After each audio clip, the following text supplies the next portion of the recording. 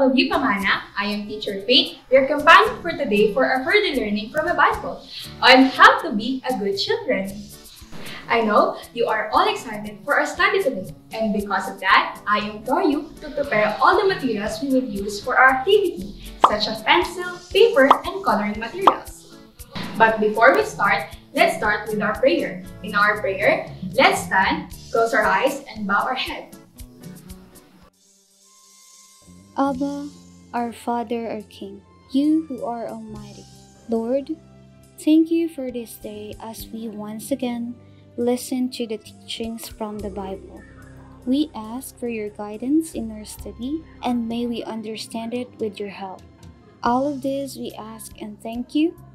In your name, Christ Jesus, our Savior. Amen. Before we start our study, we'll have a little activity.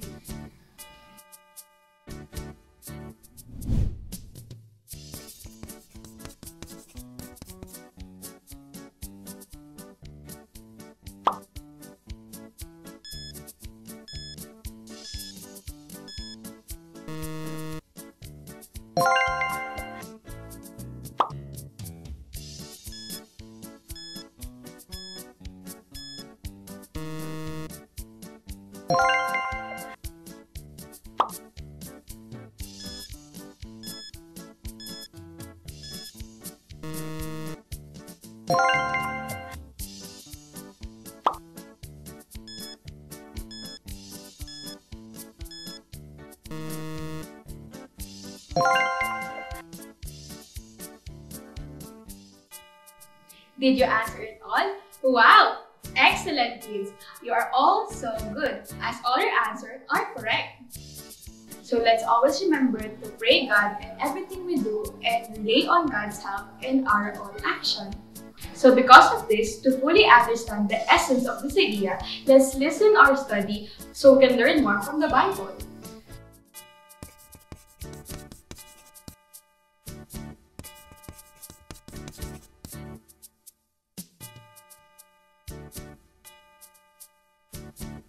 Now, here's a question for you, children. Why is it important for us to be orderly and clean?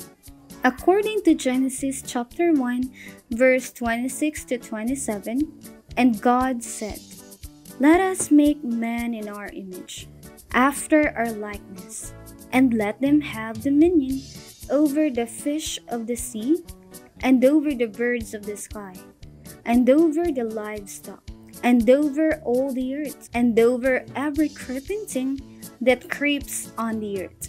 So God created man in his own image. In the image of God, he created him. Male and female, he created them.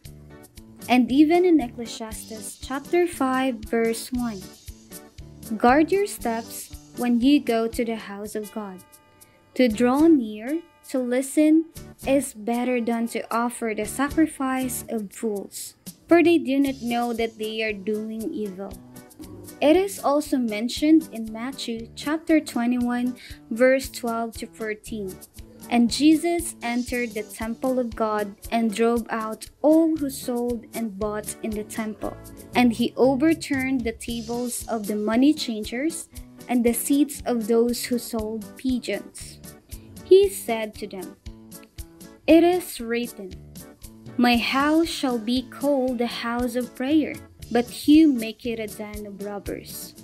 And the blind and the lame came to him in the temple, and he healed them. According to the story, God wants us to be orderly and clean in all aspects of our lives, whether at home, in school, or in the church. We should be orderly and clean because it shows that we are the children and servants of God who live in cleanliness, especially in the cleanliness of our hearts. This means that we should exhibit good behavior, as it, it is the nature of God that He wants us to embody. Why? It is because God is holy and his nature is to be orderly and clean. There you go, kids! Our lessons are truly meaningful. So now, let's revisit the important lesson of the story. What lessons should we take away from this? Number one, be a pamana that is responsible and clean towards the environment. In our story, we've learned the importance of practicing good habits, being good pamana ah, by living a life of order and cleanliness. It is important to instill these practices from a young age so that they become a lasting pamana ah, as we grow older. Moreover, let's share these values with our fellow young pamana, ah, especially our friends. Number two, follow orderliness and environmental law in our surroundings. Nature and the environment are gifts from God that we shouldn't destroy. Let's refrain from littering indiscriminately and dispose our waste in proper places. We can also participate in tree planting activities. So children, let's make it a habit to be orderly and clean in our surroundings. There you have it. The lessons we should learn. Are you ready for our activity? Yes! Let's get started. On a clean sheet of paper, draw a large item that is used for cleaning. For example, a broom, vacuum cleaner, dustpan, or mop. If possible, color them as well. Are you finished, kids?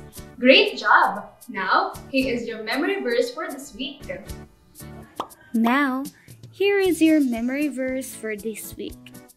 Let no man despise the youth, but be thou an example of the believers in word, and conversation, in charity, in spirit, in faith, in purity. We're done with our study. So now, let's pray again. Abba, our Father, our King. Thank you very much for helping us complete these tasks once again. Thank you for your help and guidance, and please help us become avid readers of the Bible. May we not forget the lessons we've heard, and please assist us in applying these teachings we learn in our everyday life. Continue to protect and guide us. This is our prayer. In the name of God, Christ Jesus, our only Savior. Amen. Thank you, kids, for listening. Until next time, goodbye and Mizpah!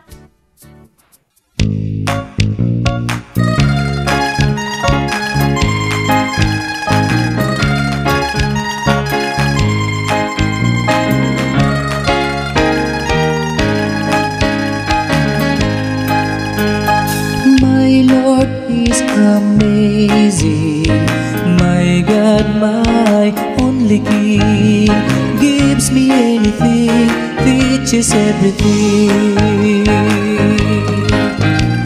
He taught me how to praise Him.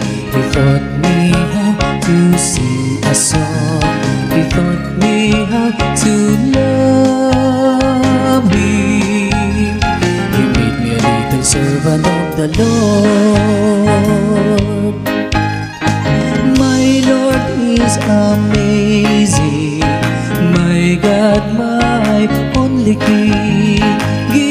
Anything, me is everything. He taught me how to praise Him. He taught me how to sing a song.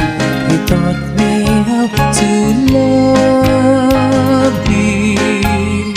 He made me a little servant of the Lord. He made me a little servant of the Lord.